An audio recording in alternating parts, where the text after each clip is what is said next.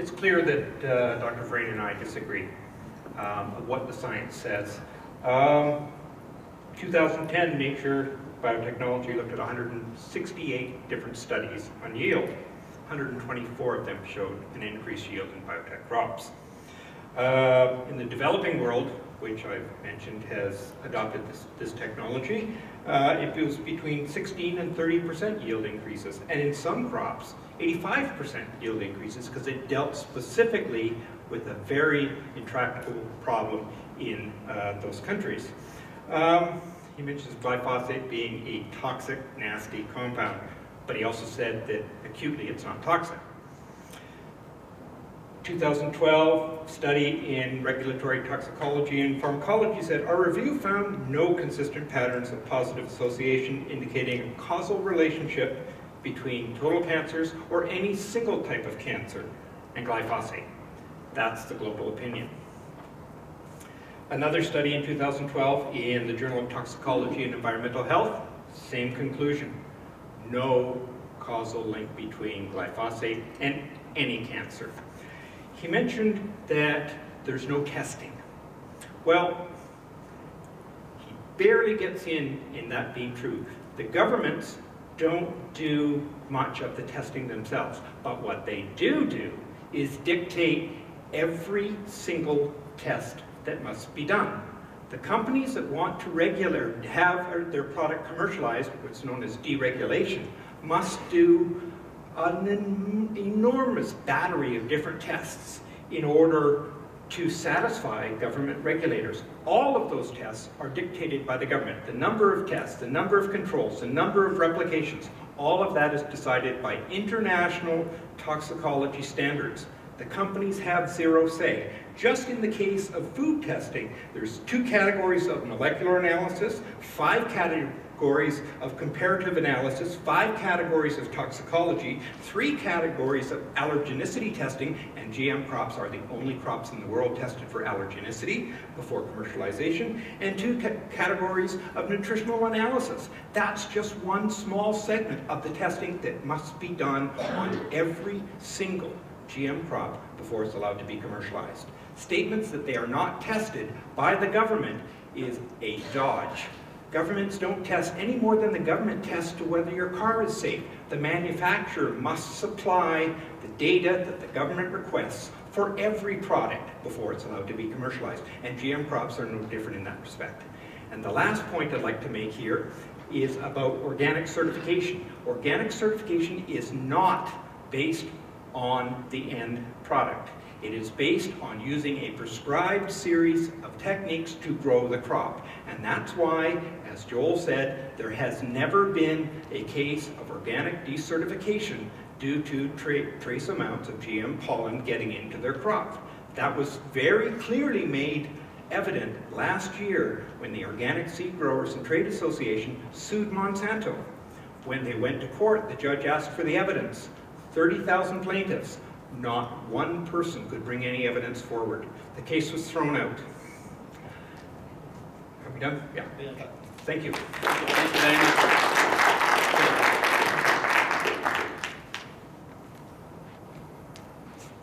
I think I will repeat what I said. No genetically engineered crops have been tested by the regulatory agencies in the USA and in Canada, ever. That's very clear.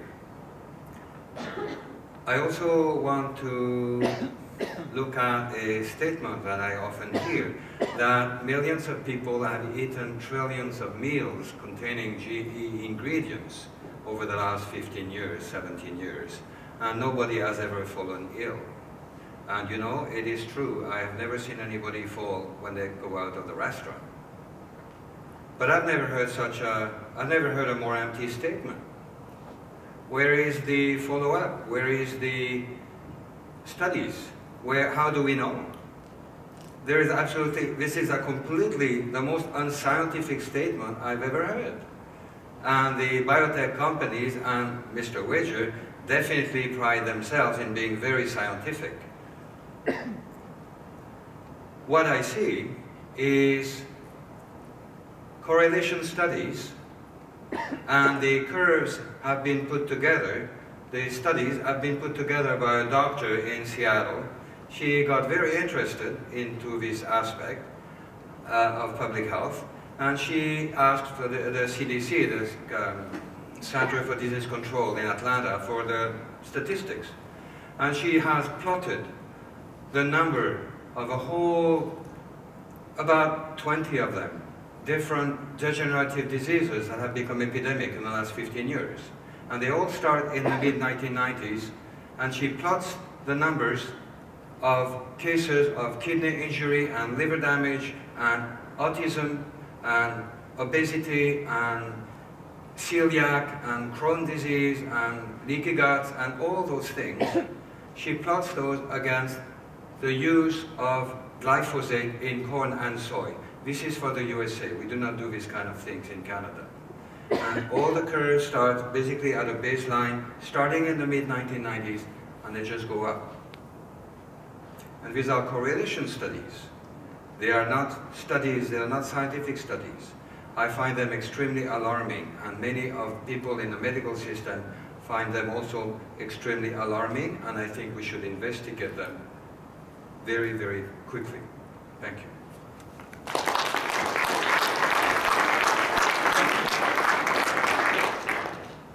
I think I'd just like to reiterate uh, that independent testing of genetically modified organisms, much less this apple, simply haven't been done. And, and transgenic organisms, including this transgenic apple, really isn't substantially equivalent. The Arctic apple is not an apple. It is, it is something distinctly different. It alarms me actually that 17 seeds out of 40,000 were contaminated. That is just the beginning of, of the destruction of the malus genome.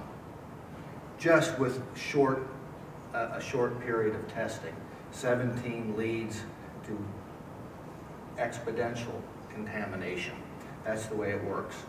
The fact of the matter is the bees, uh, regardless whether it was a slight majority, a, a, a big majority, doesn't make any difference. BC Fruit Growers opposes this technology.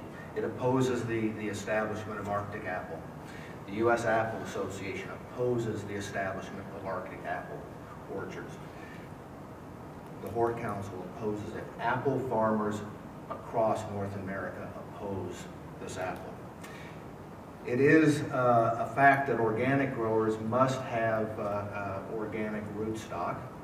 Many rootstocks are seedling and, uh, and, and if, if uh, organic uh, Arctic apple genes contaminated even seed stock, much less the uh, mother plant tissue, which is what we, they don't contaminate the apple that we eat, but if, if, if the seeds contain this genome, then they can't be used as rootstock for organic production. So, so uh, uh, I, I, I too want kids to eat more apples, but I want them to eat real apples quite frankly, I think apples are pretty well packaged the way they are. The challenge of uh, the 21st century is, is to figure out how to bring forth a food system that uh, is less technologically intensive, uh, requires less resource and packaging and processing. And, uh, and the apple is something that is packaged pretty doggone well, well enough for us to have eaten them and grown them for thousands and thousands of years, and I think that it's good enough for us to continue eating as is for another few thousand years.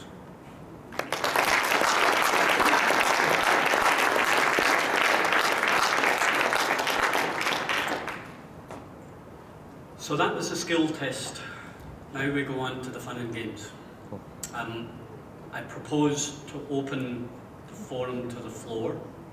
I have one specific request. There are several of us on the podium who have legitimate hearing challenges.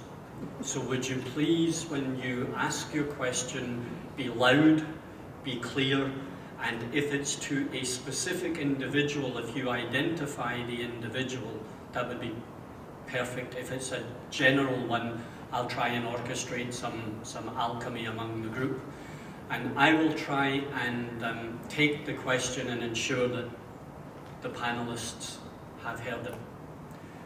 Joanne and others are on the floor to take your questions, so it's open, open mic. So if you could please stand up and say your name. Yeah, hi, uh, Ken Barton, and um, with the recent uh, announcement that Canada has um, signed a preliminary agreement uh, for free trade with the EU, um, and I'm fairly familiar with some of the stuff that uh, in the EU, because I have two brothers that were in farming over there. I thought, well, from my knowledge of Canada, my brother's knowledge of farming in the EU, how prepared is Canada for this? How is our regulatory processes? So I started doing a bunch of digging around.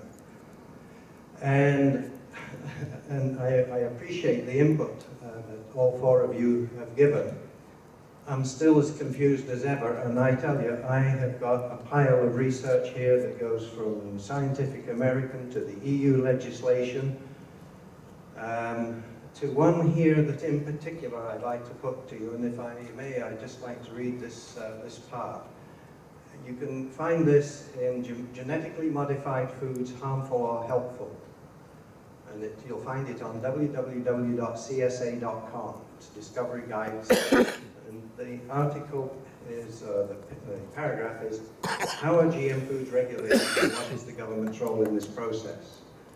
This is in the, written in the USA. There's a paucity of stuff on, uh, written in Canada. And I've even got some of the uh, Canadian Food Inspection Agency's comments on it, and that's not encouraging. It says here, in the United States, the regulatory process is confused because there are three different government agencies that have jurisdiction over GM foods. To put it very simply, the Environmental Protection Agency evaluates GM plants for environmental safety. The U.S. Department of Agriculture evaluates whether the plant is safe to grow. And the federal, uh, the FDA evaluates whether the plant is safe to eat. The EPA is responsible for regulating substances such as pesticides or toxins that may cause harm to the environment. GM foods such as the BT pesticide-laced corn. The EPA, uh, then they look at the nutritional value. That um, uh, the USDA is responsible for GM crops that do not fall under the umbrella of the EPA, such as drought-tolerant or disease-tolerant crops, crops grown for animal feeds, Can, whole fruits. can, you, can you put this in the form of a question because it's, beginning to Okay. get too long. Okay, give me a second. The FDA, because, and I mention this because uh, one gentleman there was mentioning the FDA. Uh, the FDA, their, their stance is that uh, GMO, uh, they just look after, it's a, a substantially equivalent to unmodified natural foods and therefore is not subject to FDA regulations. So um, my question comes back to about the fact that we were saying that um, it's been, that uh, these crops have been stated as being safe by the uh, FDA, but they say no because GMO doesn't fall under their purview. Uh, they- they- I forget- Yes.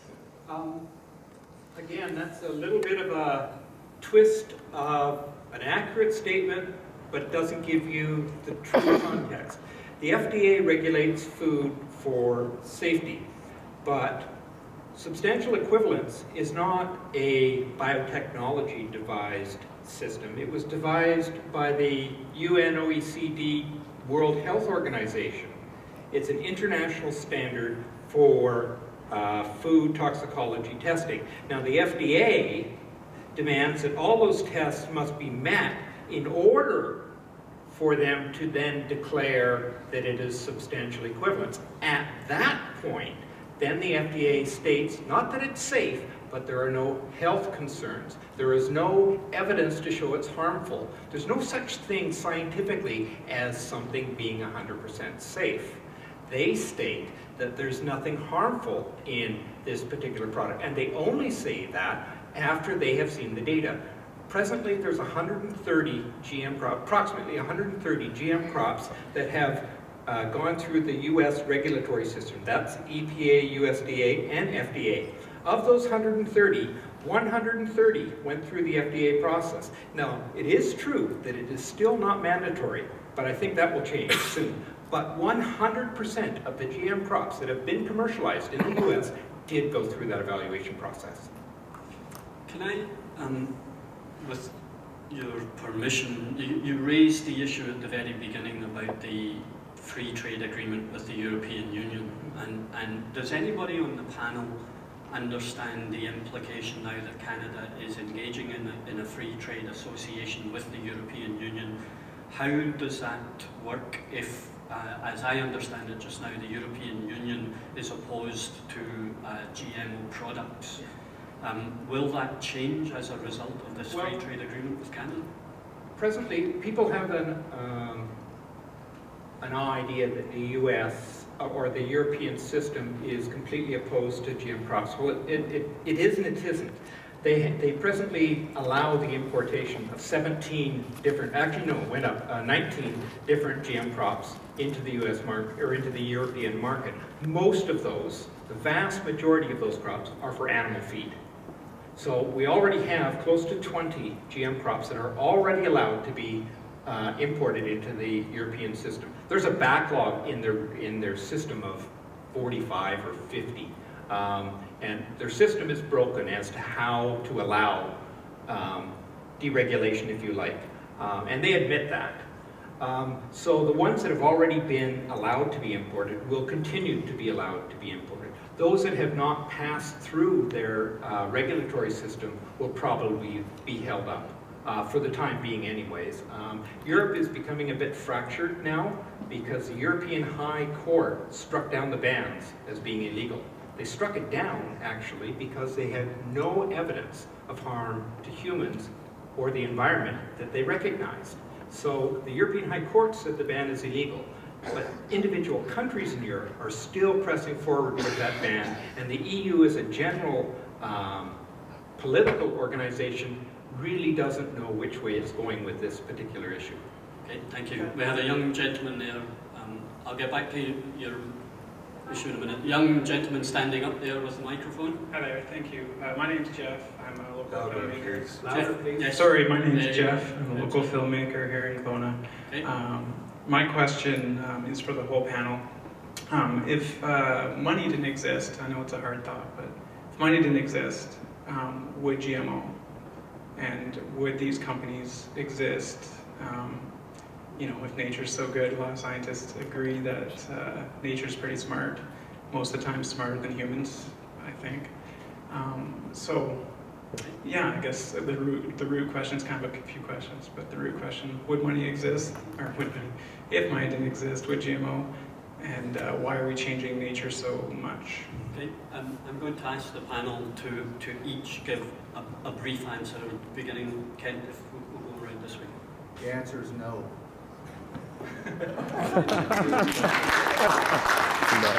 The question is, if money didn't exist, if this, if money, financial gain, profitability, money were not, and uh, was not an issue, would GMOs be brought into effect? If money was not in the equation whatsoever, would we have GMOs?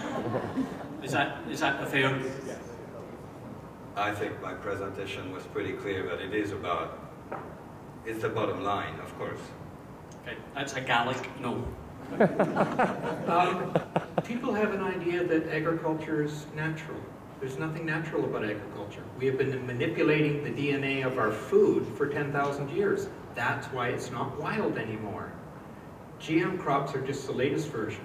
What would happen without money is we would see a great many more of the publicly funded GM crops that are presently sitting on the shelf. And we're talking thousands of them that are sitting on the shelf that would be in the public domain, but nobody can afford the massive cost of the deregulation process, the testing process that every GM crop has to go through. We're talking 10 to 20 to upwards of 100 million dollars in some case in order to get a GM crop through the testing procedures.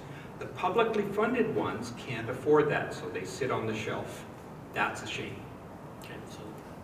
Okay, Yeah, so um, to echo that briefly, I mean, every banana you eat is a clone of another banana. Every banana you eat is the exact same. Uh, all apples are propagated by grafting now, even tractors and everything else. It's all technology made to more efficiently make more quality, safer food for cheaper. And GMO is part of that solution, so I would say definitely yes, it would be, would be around without money.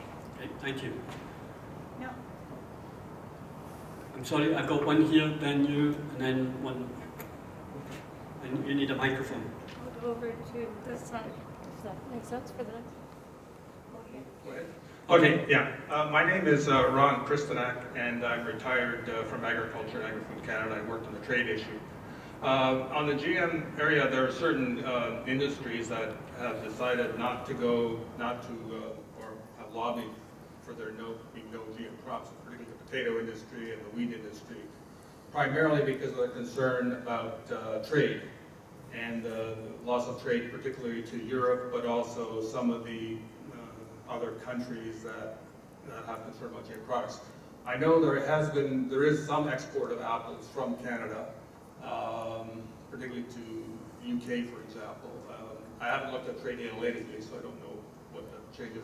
But anyway, um, have you examined the concern about trade uh, for the industry and particularly what the implications would be of losing those exports uh, to Europe and some of the other countries? Um, I know it's not going to be a problem with the United States because they would presumably approve this product. Uh, uh, there would be some coordination of approving the product in, in the North American market.